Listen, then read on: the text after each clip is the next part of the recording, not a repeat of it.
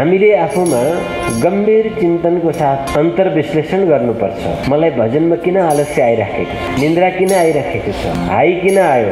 पेट किन ढाडियो? टाउको फुट्ला जस्तो किन भयो? माला किन बारम्बार गुजुल्टी पर्छ यसको मूल कारण सबै कारणको मूल कारण हो कि रामजी प्रिय लागेको छैनन्। विषयको लागि हामी भजन गर्दैछौँ। जो विषय क्षणिक छ जो विषय नाशवान छ अनेका अनेक जन्म लिएर हामीले बारम्बार त्यही विषय भोगेका छौँ जति अगाए पनि हामी, फेरि उत्तिकै भोगको छौँ। उत्तिकै अधुरा छौँ। र पनि यसैबाटै मेरो पूर्ति हुन्छ भन्ने अभिलाषाले हामी बारम्बार बारम्बार यसमा धाइरहेका छौँ।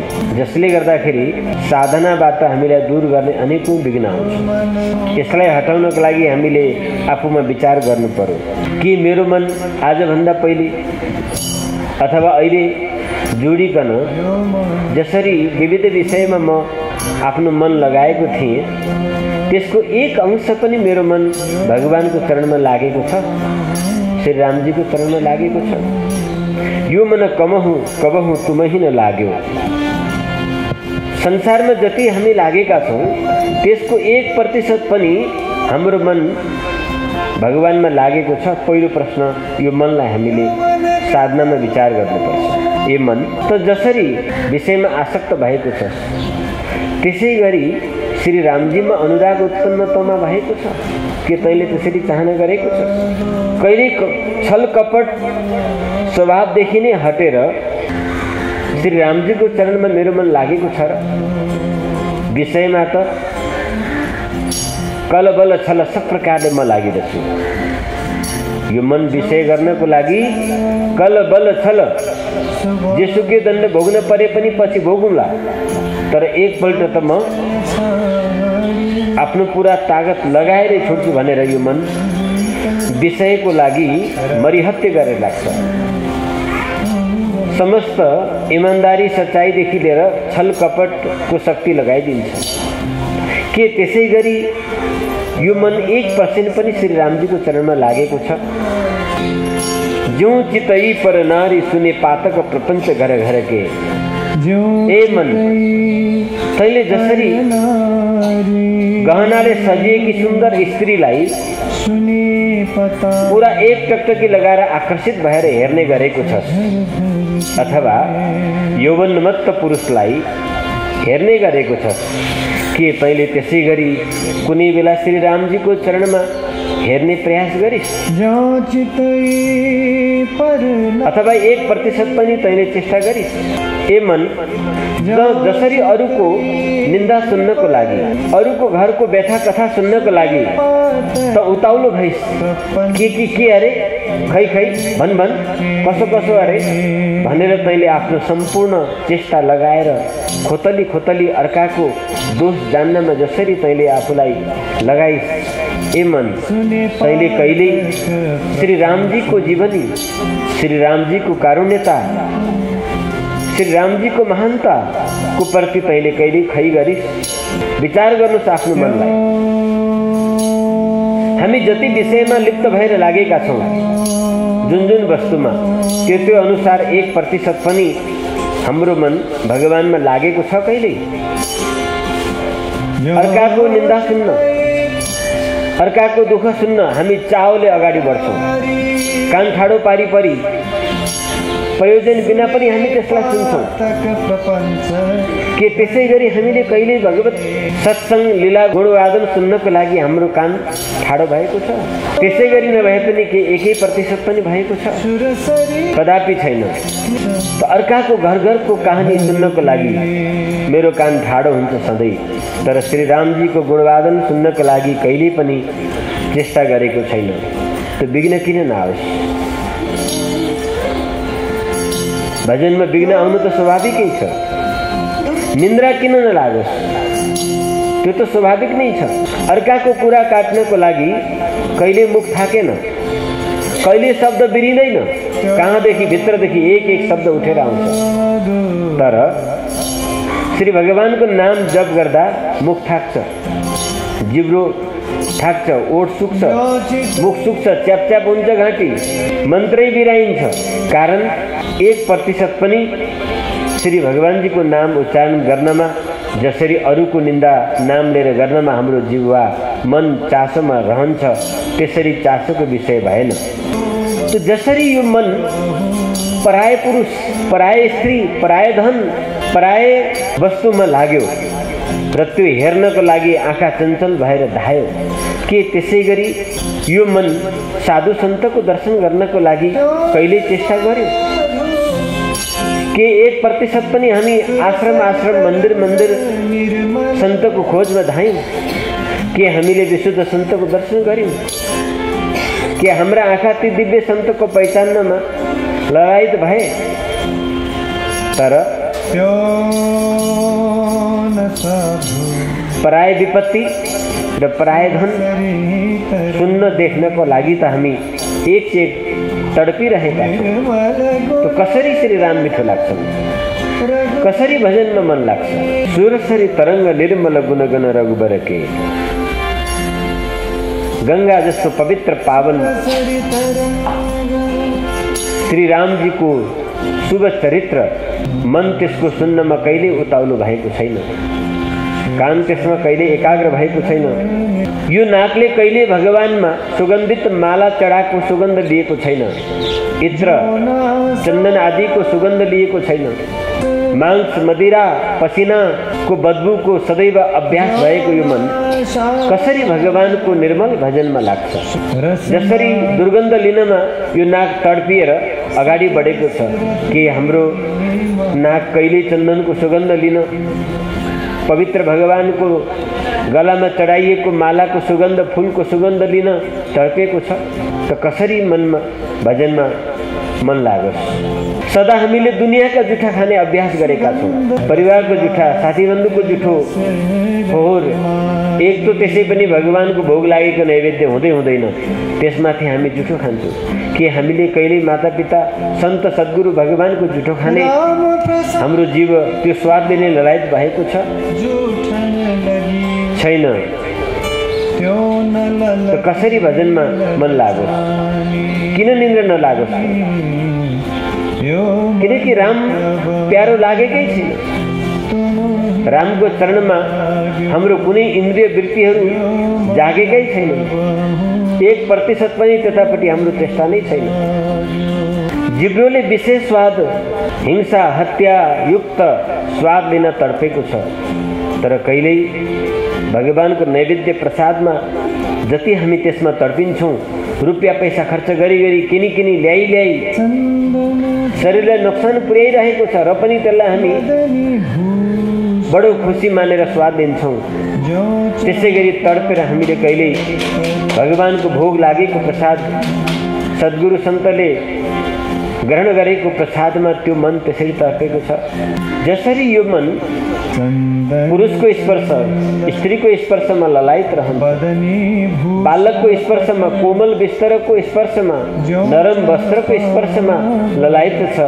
त्यसै गरी श्री रघुनाथजीको चरणको स्पर्श श्री माता पिताको चरणको स्पर्श श्री गुरुदेवको चरणको स्पर्शको अभिलाषा कहिले बन्यो? त्यसरी नबने पनि के एक प्रतिशत पनि हाम्रो मनमा त्यो किसिमको कहिले ललायत भाव जाग्यो? जसरी हामीले मन वचन कर्मद्वारा संसारका मालिकहरूको सेवामा धुमधामले आफ्नो अकल बुद्धि लगायौँ। जो स्वयं नाशवान छ धूर्त छ निच छ तर आफ्नो बस कहलाउँछ।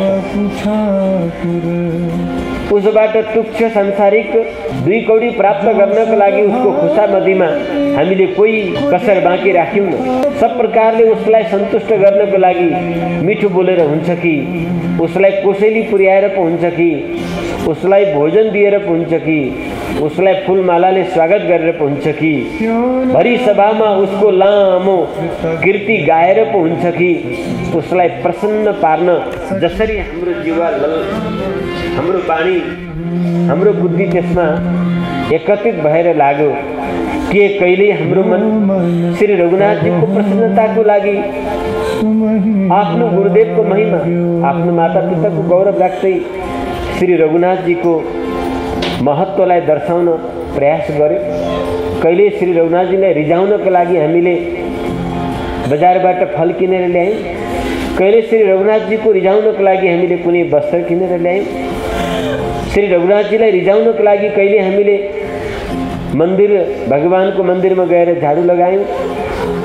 कहिले श्री रघुनाथजीलाई रिझाउनको लागि हामीले भगवान्का भक्त सन्त ब्राह्मणको सेवा निष्कपट भावले गऱ्यौँ यदि गरिहाल्छौँ भने पनि पाप कटाउनलाई ग्रह कटाउनलाई रोग कटाउनलाई। ब्राह्मणलाई खुवाए रोग नाश हुन्छ भनेर मन्दिरमा लगेर दिए पाप कट्छ भनेर हामी कपटपूर्वक लिएर जान्छौँ। विषय आस्वादनको लागि। तर कहिले प्रेमवश हाम्रो त्यो चेष्टा रह्यो? हामीले आफ्नो मित्रहरूलाई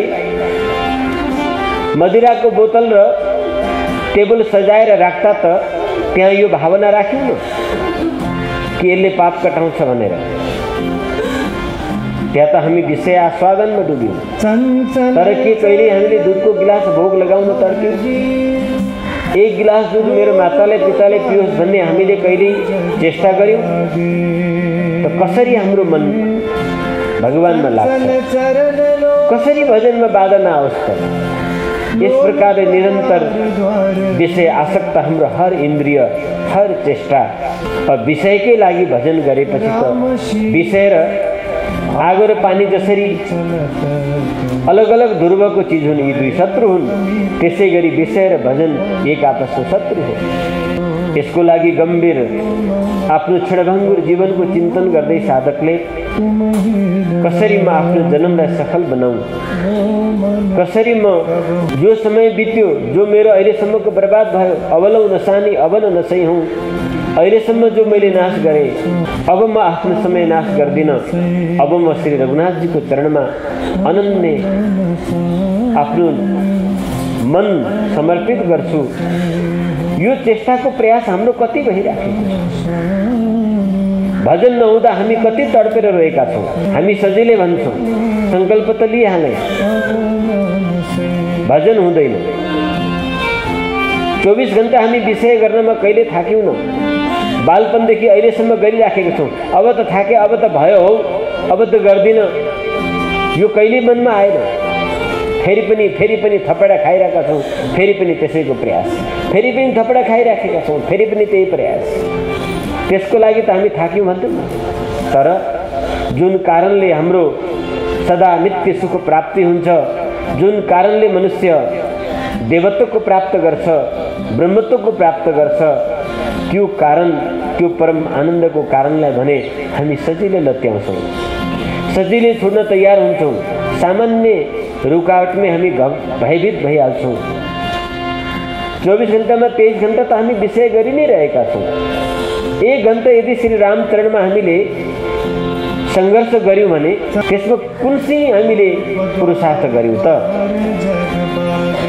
त्यति बेर भए पनि कमसेकम श्री रघुनाथजीको चरणको स्मरण गरेर आँखाबाट किन आँसु झर्दैन किन हृदयमा करुणाभाव उठ्दैन मेरो मन हजुरको चरणमा लाग्दैन विषयमा मात्रै लाग्दैन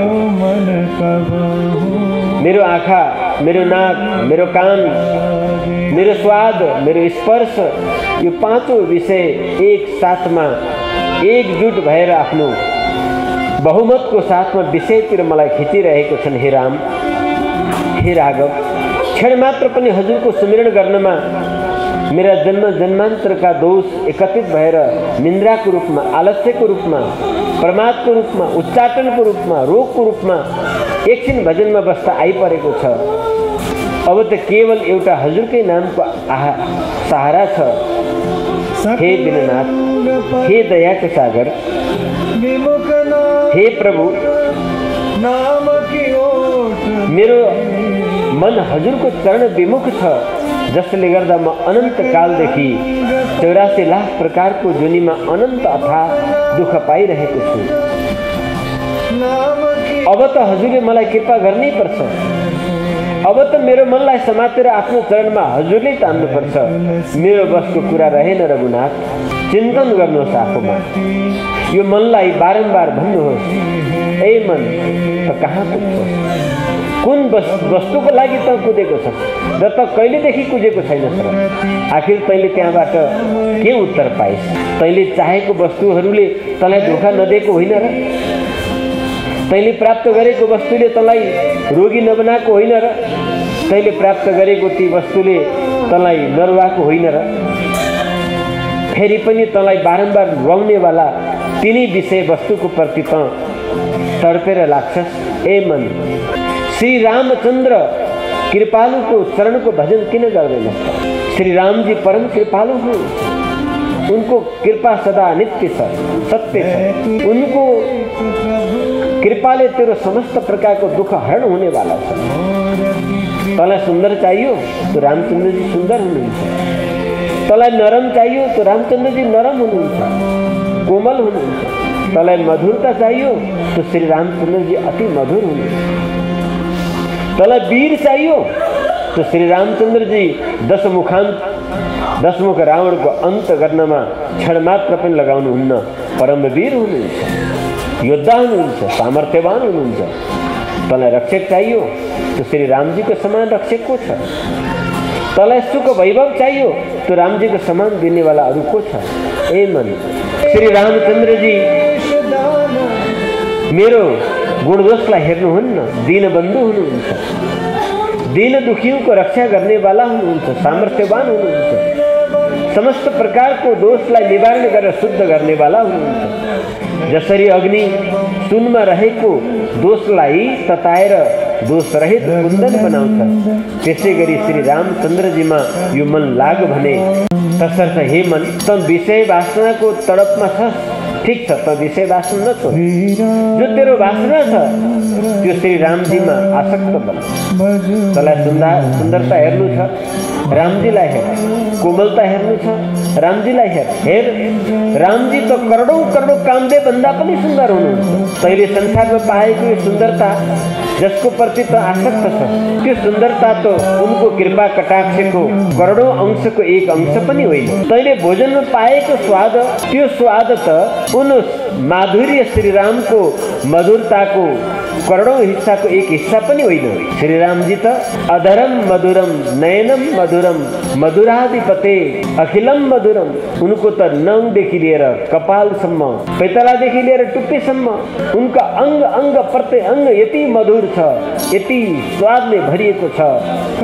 नवरस सडरसले लबालब भरिएको छ। ए मन तँलाई आफ्नो बासना छोड्न मन छैन?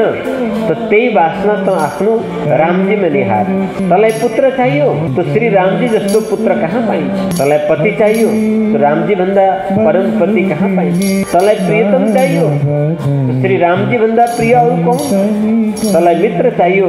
त श्री रामजी भन्दा बर्कड मित्रता निभाउने वाले संसारमा तँलाई स्वामी चाहियो? त संसारमा यस्तो कुन चाहिँ सेठ छन् कुन चाहिँ धनपति छन् जो सोनी सुनको लङ्कालाई पनि आफ्नो सेवक विभीषणलाई दिँदा चिज दिँदैछु भनेर अप्ठ्यारो मानेर दिने तैँले सेवन गरेको तैँले आदर गरेको सेठ छ तँलाई दसैँको बनोस दिँदा पनि अहङ्कारपूर्वक मैले जति तँलाई कसले बनोस दिन्छ र भन्दै दिन्छु तर श्रीरामजी पूर्णमय लङ्का विभीषणलाई दिँदाखेरि सङ्कुचित भएर दिनुहुन्छ उनको उदारतालाई त हेर उनको विशाल हृदयलाई हेर अरे स्वर्णमय लङ्का त क्या स्वर्ग त क्या आफ्नो परम पद र परम धाम दिनको लागि पनि एक क्षण विलम्ब लाउनुहुन्न त्यस कारणले हे मन त यो विषयको चक्करमा न धेरैचोटि तैँले विषयको चक्करमा अनेकौँ कष्ट भोगिसकिस् अथाह दुःख पाइसकिस् अब त लाग अब त श्री रामजीको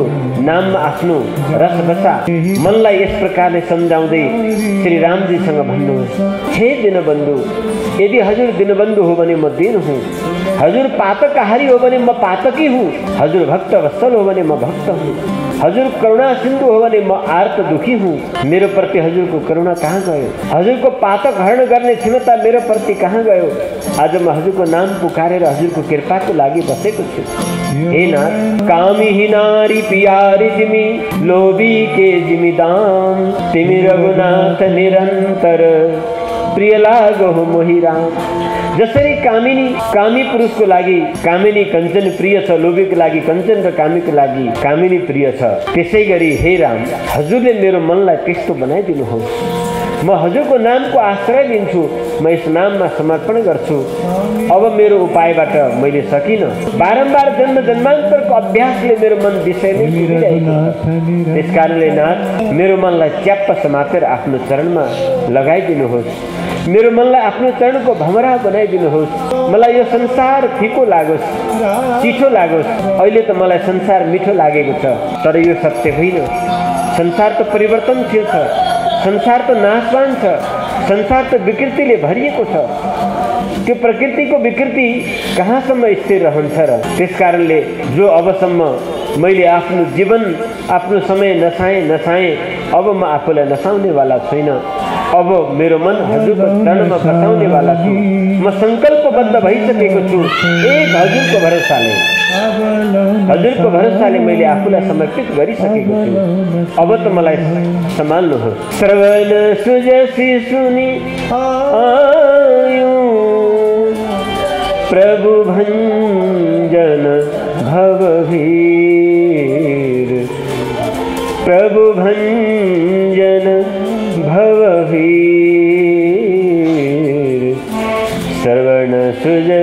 सुनि आयो। हे नाथ मैले हजुरको बारेमा सुनेको छु। जो एकपल्ट पनि शरणमा आउँछ आचार्यको विधि अनुसार गुरुको नियम अनुसार उसको समस्त दुःखलाई निवृत्ति गरेर आफ्नो निज धाम निज आनन्द दिन हजुरको प्रतिज्ञा छ। यो सुनेर म आज आएको छु। हे ना त्राही माम त्राही माम त्राही माम। रक्ष माम रक्ष माम रक्ष माम